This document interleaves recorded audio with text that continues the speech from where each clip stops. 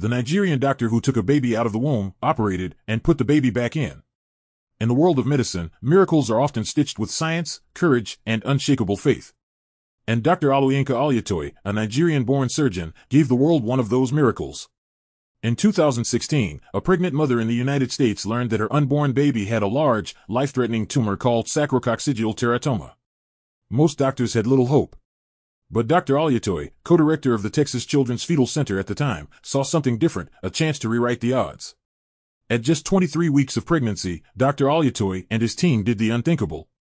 They carefully opened the womb, brought the baby partially out, while she was still attached to her mother by the umbilical cord, and performed a highly complex surgery to remove the tumor growing on her spine.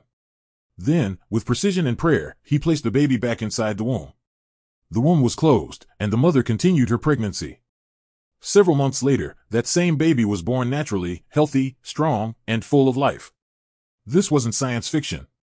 This was faith, skill, and African brilliance at its finest. Dr. Olutoye, who earned his medical degree from Obafemi Awolowo University in Nigeria, has become a global inspiration. He now serves as surgeon-in-chief at Nationwide Children's Hospital in Ohio leading one of the most respected pediatric surgical departments in the world. This is more than a story about medicine. It's about a black man from Nigeria, standing at the cutting edge of global science. A reminder that African excellence doesn't need to be discovered, it needs to be recognized.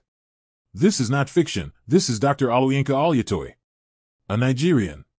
A genius. A leader. He didn't just save a life. He made history.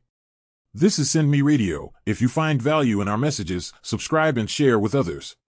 Until next time, love, peace, and blessings.